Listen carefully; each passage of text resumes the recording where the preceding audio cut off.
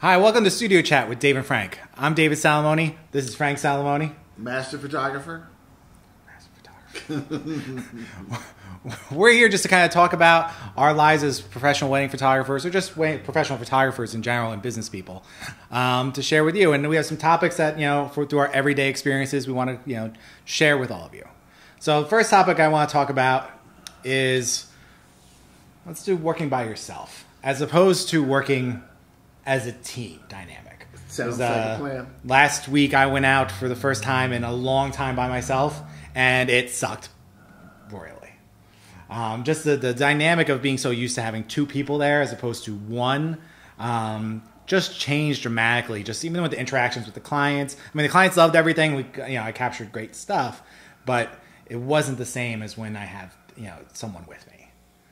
Now you've worked many years by yourself. Back in the day, there was no second photographer. You were the photographer. Well, because you were buying film and you were too cheap to buy more film for a second photographer. That's very true. Yeah. That's very true. Uh, but you had your most of your photographers out shooting other other jobs for you. So everybody was doing was one photographer, and I would run around and, and catch up with my photography staff and do special setups. If we do like three weddings, I would see three brides at a time. That's really Well, that's just insane. That's really hustling. But it's got that second photographer kind of feel to it because you have someone going in there to get a backup shots, to get different angles and do something special. But do you feel? I mean, also we're talking about a different level of service and photography we are providing at that time. I mean, are we pre my existence at this time? Yes. Okay. Yes. So, um, you know, do you feel that our clients benefit more when there are two photographers there all day as opposed to just one? Definitely. You know, in the digital digital world, the two photographers really makes more sense, especially with the the way that the window of of our, our photo sessions on a wedding day is so short. You know, you have you plan for an hour and a half for uh, a creative photo shoot, and all of a sudden the bride's late, and you have a, down to a half hour. Now with two photographers, you can really catch up and capture a lot of images in that one half hour. Where if you're by yourself, you're not going to get it. Well, now, now you talked about it like in the back when when we just did a single photographer, but now going from us doing two photographers for so long, going back to a you know for some jobs to a single photographer setup. I mean, do you feel you know a difference just from your standpoint of you know being by yourself as opposed to being with PJ or with you know you know one of us, you know, on the job? Because I know I you know just in the fact of just you're by yourself. No, know, af- as opposed to someone being- to kind of bouncing No. ideas off of, or even though they claim that I just do everything and don't let them have ideas, um, but you know, you don't have that other person there as your kind of, you know, eh, it's just backup. Just, I mean, if you are running short, like I can send PJ to just do the guys while I'm working with the girls. Yeah, but there is there is that concept where where when we're molding and and and, and working a um, styling a pose or something, the angle that we have is is really a super angle. But there's another super angle that someone could get from another end. And if you have the second shooter, a good photojournalist who's in tune to this, they're going to get some really good shots, and that's what our staff does. Yeah. PJ goes out with me, and he comes back with some really amazing photographs. So the two of us together, the the quality of images that our couples or families are getting are, is much more superior than a single person. You just can't cover it. In the digital world, when you when you have the uh, accessibility to shoot thousands of pictures, you really need to have different angles, and you really have somebody that's sharp. That you know your eyes, you see something, wow, bam, and you go and turn and take a quick shot. So the digital technology is a lot different than back in the day when you had 20 rolls of 120, and, and that's what you basically shot for the film. You had 300 pictures, 300 shots. And if you did more than 300 shots, you got in trouble with the studio owner. Which was you. Yeah, that was. Yes, which was you. Um, film was but now, even though we talk about you know taking you know lots of pictures, you know, even on the digital spectrum, you know, I mean, there's an argument between us and and and, and another photographer about you know that we take too many pictures on our end. Um, I've I always run as I- I'd rather have the shots than not. And you know, if I have 3,000, 3,500 shots on a job, great. Uh, but you know, the, the dynamic of the two people also leading to different angles and moments on not just the posing end, but on the photojournalistic end. um, which is you know where more I come from to look for on the photojournalistic end of being in the two locations at once. Uh, it makes a big deal also when we talk about you know designing a story for an album. Know, I have a lot more content to use when I have two people as opposed to when I have one. I mean, I can create a beautiful album with one, but I'm also I'm hustling my ass off to make up for not having that second person there. I don't know, it's because I I'm you not used to not having the second person there, so I feel like I have to take up more slack. Well, the difference between what we do and the proactive photographer, like you were talking about, they have a routine, and they basically do that routine. And they- when they're editing, they don't want to go out of that routine. So if you have a true photojournalist who's capturing the reality of the story as it unfolds, he's not working with his constant routine. In the photojournalistic style that we do, we're capturing that story as it unfolds together. So when we have all the images, the story is right there, and it's something special, it's something real that pertains to that couple, that family. It's unique to the to our clients, and that's what people love about what we do. So, so from your standpoint, which I mean, we're looking at kind of you know having a single photographer coverage. Is it beneficial for us from also our standpoint, and also from the client standpoint, to be shooting with a single photographer? And for people out there that do shoot a single photographer, should they look to have you know build in and add on to their package to have a second photographer there, just to be able to create more content and better content for for the client? Well, you know, the economics have a big play in, in a single photographer, though, you know, dual photographers. Uh, the cost factors is, is really important. And if someone's on the lower end of the spectrum as far as their cost factors and what they're producing for their, for their families, it's hard to spend an extra X amount of dollars for a secondary photographer. Uh, when you're in the market like we're in, when, and the couples are looking for something, they want to spend a little bit more, they want something extra special, they're going to come to us because of what we do. So economics plays a big role in that.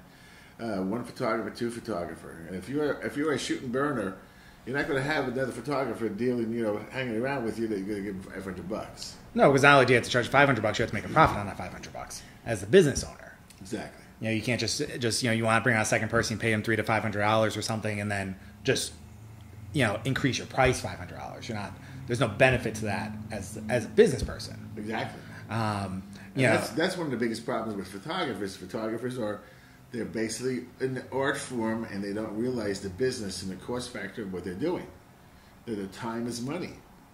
And if somebody else is there and they're spending them three hundred dollars or whatever it is, you got you have to produce six hundred dollars so they get some kind of a profit out of it.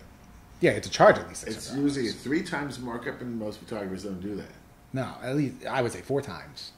You know, to, to really you know after you add everything up in your taxes, all that crap, you really need you know to, to have that extra person out there. Sure. you know, on a job. You know, but then you know, it's just from the standpoint of the the, the you know, from me looking at it as of doing it, you know, I don't prefer it on our end. I'd rather say, you know, on a higher end to have a more of a team aspect, just from you know the creative standpoint, the mental well being standpoint of you're you're by yourself for twelve hours, you know, in, the in a car for two unfortunate part hours. is that in the economy and economic uh, situation that we're in, when a client comes in and they have a tighter budget, you got you, have to cut something, and to cut something would be a second photographer, and still they're going to get the beautiful single photographer of the studio. You know what we do, uh, but it's it's it's what it is. It's the animal what it is. So you know you you're not Yeah. used to it. Does that does that you know? But is it more beneficial than to not take those jobs because it does devalue the work going out as a single photographer as opposed to the the team of two? Because all, also on the other end, you have two guys that charge no money. They're charging fifteen hundred dollars and going out with a crew of two. And giving the disc, but are those guys going to be in business for that long? I don't know. No, they're gonna. They're, everything's gonna burn out. Uh, hopefully, towards the end. But in the market that that we're in, and and you have uh, diminishing as far as the high end market, and people more going down into a lower end, and people have a little bit, you know, they're less income, less money to go for a wedding. We have to be, um, you know, conscious of that. And the reality is, you know, when when when the higher end goes down and you're shooting less jobs, you got to pull it in. You got to pull in from something. So, so what would we recommend to the people out there right now? Either they they're they're just a one-off person. You know, would they look into investment to hi- to have a second person on their job, or right now, just because the times just kind of keep it tight and contained? Have it maybe as an option as an add-on. Have a second package that incorporates a second photographer? I would do that, but the, the first thing, you know, if you're working by yourself now and you don't have anybody, uh, get an intern, get somebody that's interested in photography just to work with you and start learning because you really got to mold together. It's really difficult. I've worked with a couple situations uh, where my second photographer, I'm not used to working with it, and they're, they're kind of oh, because you're spoiled. all over the place. We spoil you. I want to make sure that the person is there to capture exactly what we need to get to get. I mean, luckily for us, you know, our second photographers have been around a long time, Exactly. and you know they know pretty much But, what we want. but it's, you know, it's something that you, if you're a single photographer right now and you just want to branch out into that, get somebody, have some fun, pay her fifty dollars, pay them whatever it is, something, something, something just for their gas, and and then and then slowly grow into a second. or start them out as an package. assistant and have them just shoot some stuff during the ceremony Yeah. and you know reception type of things, Right. not the crucial areas that you, that you need. No, but I would I would let them experiment and go out and see what their eye is and see what they what they're bringing in. Yeah. Uh, assistant means that they're going to be hanging around you and they're not going to be really thinking and viewing and seeing the shots. Well, shouldn't they be seeing, you know, from a standpoint if they haven't been out before, kind of just you know what you're looking for, and kind of you know as as you know they're just holding the bag, watching what you're doing to kind of get a feel for the style because you also don't want their style to be too drastic from yours. No. because because then it you know doesn't mesh with the look of Right. of, of your company. Uh, but you know, so this way you know you have them kind of just just watch and kind of you know okay now here's the camera during the party go get some dancing pictures keep it like this and see what they come back with. See, what I was more concerned about this photojournalism back when it first started meant I'm not posing anybody. I'm not doing this. Going to take pictures. That's not working. That's not good. That's not really the way to work it. You really have to be a director and channel the energy so that your photographs are going to be Well, pleasing, the- and not the backs of heads. It depends upon what you're shooting. No. Our photojournalists, when they first started, they're not going to talk to anybody. They're just going around to take Oh, pictures. do we want them to talk to anybody? No.